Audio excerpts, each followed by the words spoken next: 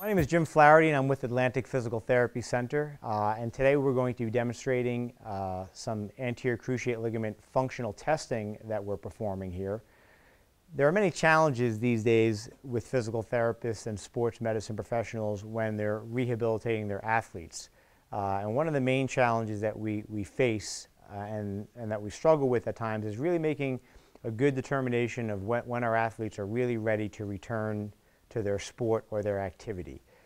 Um, at, at times we were just using variables such as time passing or range of motion measurements, manual muscle testing, girth measurements, uh, and even isokinetic testing to help make that determination. But those, those, those uh, tests by themselves are not really giving us the information that we really, really need in order to make a determination whether a patient is ready to return to an athletic activity, whether they can, you know, return to jumping and landing and cutting and pivoting uh, and being able to do all those activities with, with real good confidence. So we felt it was important to come up with a formal uh, testing protocol that we're going to do with our anterior cruciate ligament patients. And these different tests are going to be done at different stages throughout the, the patient's you know, rehab.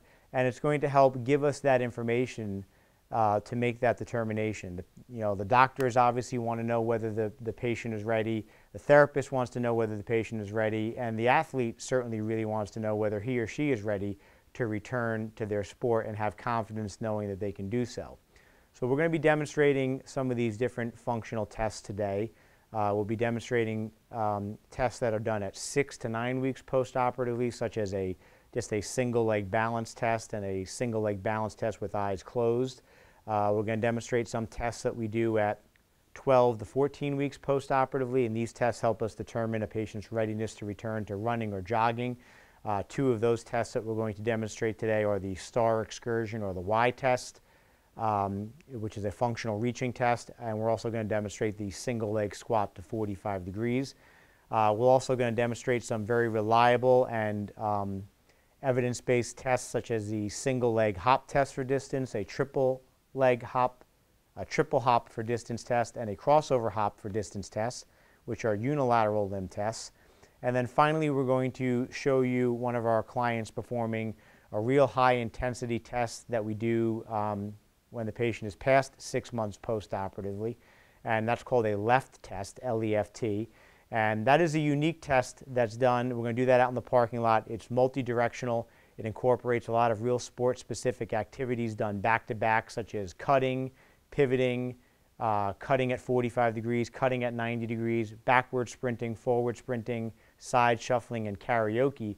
And the thing about that test is it also helps us watch the patient as they're starting to get fatigued, which will really give us some information about whether they still can have that good neuromuscular control um, as they're doing these different activities um, and as they're starting to get tired, whether they can still have that control and maintain that good form and technique. So we'll be showing that test later on out in the parking lot. What we would do is have Jane step on the scale and the book. She's going to face the mirror. Face the mirror would be easier. And let's just say that you know the patient weighed you know 100 and you know 20 pounds. You'd want to see her be able to do a squat with good technique and form and see, you know, close to 60 pounds going through her operative leg and come back up just to show that she wasn't favoring the stronger side. And then you could switch and switch the scale and do it on the right side as well. So this would just tell us is she leaning over and favoring the stronger side or is she squatting keeping her weight equal through both legs? And do that again. Good technique. Make, you, you, uh, make sure she's controlling the knee in the sagittal plane, which she is weight is back on her heels a little bit, and come back up. There. Other tests that we do at this stage um, are just a single leg balance test. So Jane can just stand right here, and she's going to stand on her operative leg. And she wants to be able to maintain a single leg stance position for 30 seconds with good control. Things that you'll look for is, is she shifting weight? Is her hip dropping? Um, is her, are her shoulders dropping? Is she able to maintain nice level shoulder, nice level pelvis? And then she, you would switch and compare it to her stronger side. And she has to be able to maintain this for 30 seconds. The final thing is to do this with her eyes closed. So we do the same single leg test on the left side and have her close her eyes. Obviously makes the task a lot harder. And then we would switch and do the other side. Two of the tests that we do at this stage are a single leg squat test to 45 degrees, and we do a test that we call a star excursion or a Y test. So Jane first is going to demonstrate the single leg squat test. Um, and first we would have her do her good leg or her non-operative leg. And she's going to squat to 45 degrees and come back up. And she's going to do that 10 times on her good leg. And you want to make sure that she's keeping her knee in line with the second toe, which means we don't want to see a lot of valgus occurring at the knee. We don't want to see her lose that control in the sagittal plane. We want to make sure the pelvis is staying level and that she can perform 10 squats in a row to 45 degrees. Leg. And then that's just to kind of warm her up. And then she would stand on her operative leg and she needs to do 10 single leg squats, 45 degrees. That's perfect. Maintain that control. No excessive femoral internal rotation, no significant hip drop. Doing it in front of a mirror can be real helpful so she can see what she's doing and control that knee angle. All right, so if the patient can perform 10 single leg squats to 45 degrees, good control of the knee in the sagittal plane, she passes that test. The STAR excursion, or sometimes called the Y test, um, it's, a, it's a functional reaching test. We always want to start with the non-operative leg or the strong leg first. Um, so you can put some tape on the ground that looks like a Y with a line going straight, a line going 45 degrees lateral, and a line going 45 degrees medial. So she's going to start with a forward reach. She's going to be standing on her non-operative leg, and she's going to reach forward as far as she can. You want to maintain good control of the knee in the sagittal plane once again. And then we would measure how far her toe goes, and we'd measure to the nearest centimeter. What we don't want to see is we don't want to see the foot actually touch down. We don't want to see her lose balance and her hand touch down. And we want to make sure she's controlling that knee uh, without a lot of hip drop or femoral internal rotation. So we'd measure how far she could reach, and then we would test the same thing standing on her operative leg. A forward reach, good control, no touchdown. We'd measure the distance. And what we're looking for here is that she can reach within four centimeters of what her stronger leg or non-operative leg can do. So we don't want to see much more than a four centimeter difference. We would test forward, and then we would test what we call posterior medial on if she's doing her right leg. So she's standing on her strong leg. No, Jan, we're going to come more along this line right here. And once again, no touchdown. We'd measure that distance. That's posterior medial. And then we would do posterior medial on her left leg. So she'd stand on the left leg, go along that 45 degree angle, no touchdown, no loss of balance, control that knee, and we'd measure the difference. Once again, we're looking for a four centimeter or less of a difference comparing the good leg to the weaker leg. So then we would do posterior lateral. So she'd stand on her right leg once again, and now she's going to kind of reach behind and underneath, go as far as she can, you would measure that difference by putting a piece of tape or a line and then measuring the distance with a tape measure. So I'll just demonstrate that, and then we would switch legs and do it again. So you could put a little mark here and then just take a tape measure and measure, see how far she's going. And we're looking for, once again, a four centimeter or less of a difference. Now, a couple testing guidelines um, that are important. First, we always test the the stronger leg first or the non-operative leg first. Uh, the first time she jumps should be maybe a 50% effort. Um, we'll usually have her do a couple of practice ones at 50%, 75%, and then the third time would be giving her maximum effort to do this uh, jumping test. Uh, she's allowed to kind of use her arms to create momentum as much as she wants to. Um, we start with the toe behind the line. We take the measurement to within the, the nearest uh, centimeter using a tape measure. A failed jump will, would consist of her losing her balance when she lands, touching the floor with her hands or her arms or with her opposite leg, um, or when she sticks that landing, having a, a, an additional short hop. Those would all be considered a failed test, and we'd have to repeat the test. Um, once again, no restrictions given on her arm movement at all. So you just, the first jump's just going to be like a little half effort, jumping, landing on one leg, sticking the landing.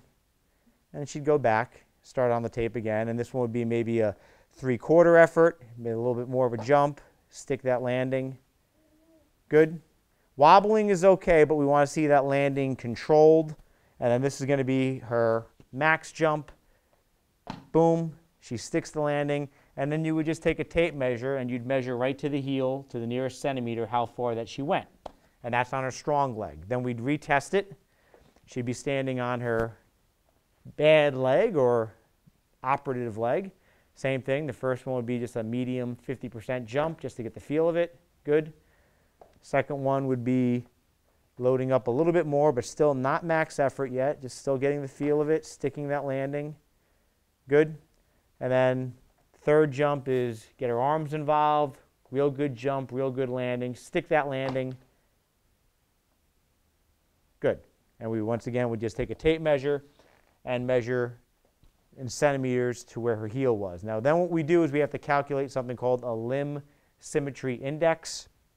We do this by dividing the operative limb average by the non-operative limb average and then multiplying by 100 and in order to pass this test, we want to see you know, our patients performing at least 90% distance compared to the stronger leg. Um, we're going to be doing three tests uh, at this stage. These are usually performed at 24 to 30 weeks.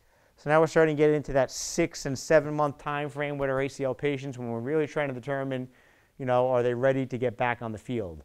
So we're going to demonstrate, once again, the single leg hop for distance, a triple hop for distance, and a crossover hop for distance. These are all unilateral limb tests, and we're always comparing her operative leg against her non-operative leg, and we're looking to see if she can cover at least 90% distance compared to her stronger side. So we're going to demonstrate the single leg hop test again. Once again, you could do some practice trials. The first jump is a medium effort. Good. And then the third, the second jump, three quarters effort. Good. And then she's really going to try to nail this one and get a good jump, max effort, boom. She'd stick that landing. We would mark it, and then we could just measure with a tape measure to the nearest centimeter. Okay? And then her operative leg goes second, a little 50% effort. For the sake of time, we'll just go right into the max effort, and she would jump. We'd measure that distance, and we'd calculate the limb symmetry, make sure she's jumping at least 90% compared to her stronger leg. That's the single leg hop for distance. The triple hop for distance is three hops in a row and the last hop has to be maintained for two seconds. Once again, we don't want to see the other foot touch the ground. We don't want to see her lose balance. So three consecutive hops in a row. One, two, three. We could put a marker down and we'd measure that to the nearest centimeter. And then good leg always goes first. The weaker leg always goes second.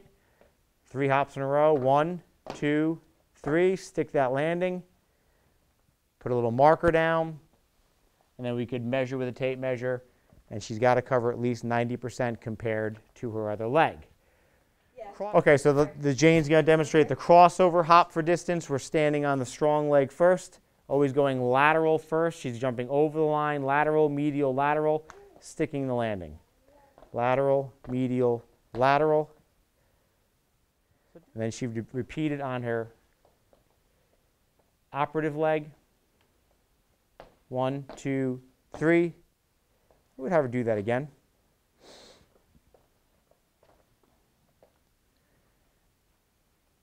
One, two, three. Good. Hold that for two seconds. Measure the distance. and then we'd calculate the limb symmetry index.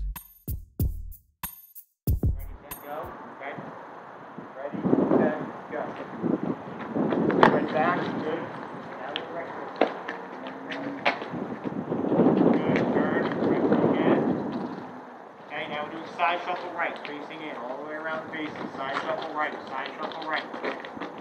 Good, now you're doing side shuffle left. All the way around the bases, side shuffle left. You carry your feet right. All the way around. Now you carry your feet left. All the way around. Right, now we're doing those figure eights, right? So we're coming around here, going around the base, right? Around the same thing the other way, carry them, from figure eights. Okay, now you're doing the 45 degree right? Planting all the way around, planting all the way around, plant. Good, you gotta plant, plant. The other way, plant on the outside, plant. Plant.